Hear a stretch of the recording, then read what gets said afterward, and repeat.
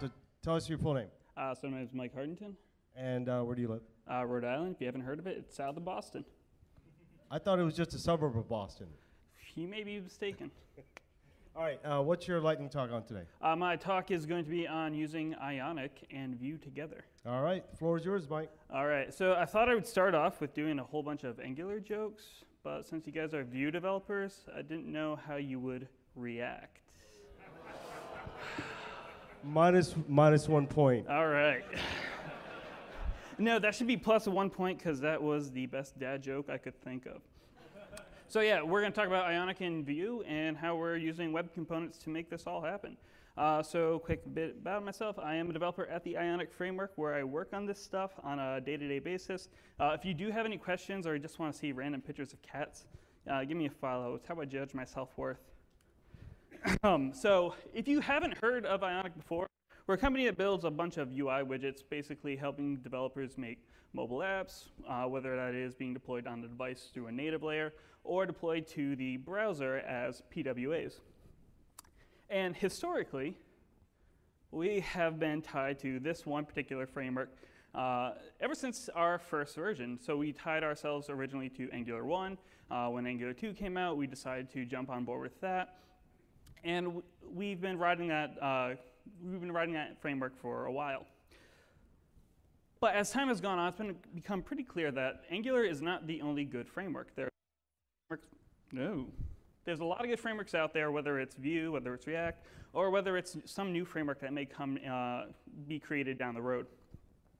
So we want to figure out a way on how we could take Ionic and adapt it to uh, not just the frameworks that we have today, but whatever could happen, uh, whatever could be created, um, you know, a month from now, a week from now, or whatever. So we decided to look into developing with web components. Uh, in fact, we've rewrote our entire framework to use web components using a project stencil.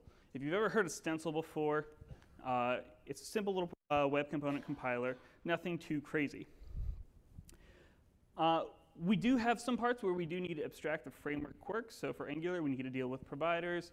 Uh, but uh, for other frameworks, we do need to deal with uh, uh, React's uh, lack of support for web components and Vue for ignoring certain tags.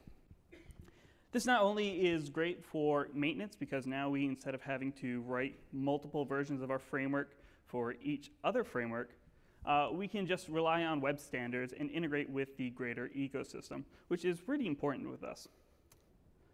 So, with that, uh, we're gonna kind of call this the first initial Vue Alpha uh, for Ionic. So let's take a look at what our demo is.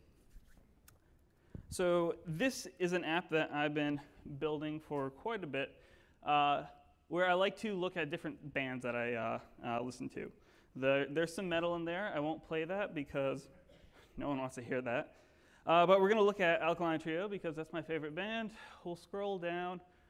Uh, this one because they say Rhode Island in it. And I'm not joking, the song actually says Rhode Island.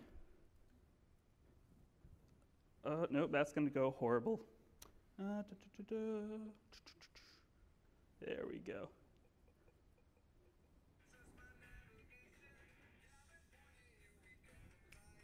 Wait for it.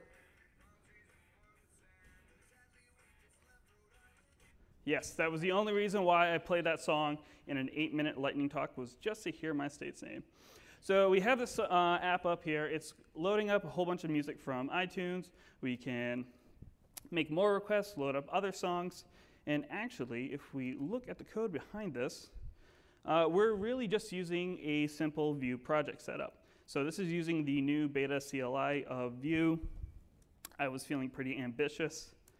Uh, and all it is, is mainly uh, this Vue component.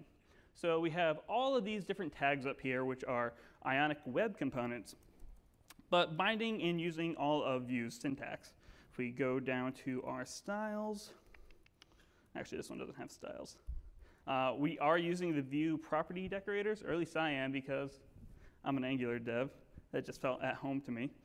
Uh, but we also have some things like RxJS because uh, we have providers, all the nice things, uh, music card for custom components, and it all just really works.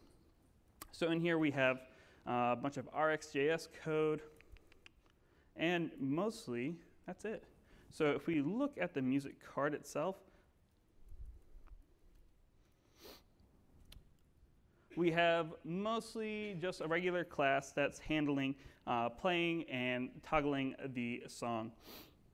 And then some styles for different interactions, and then again, more ionic uh, web components being used inside of a Vue, component, uh, Vue custom component. So this is so far has been uh, a pretty great experience. Uh, we still have a long ways to go. Uh, we have a lot of work to do with routing.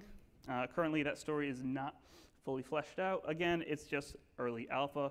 We'd love to get your guys' uh, feedback on it, and if you have any questions, uh, please come uh, talk to us. We're outside. Uh, I'd love to get your thoughts on it, uh, and thank you. All right. Thanks, Mike.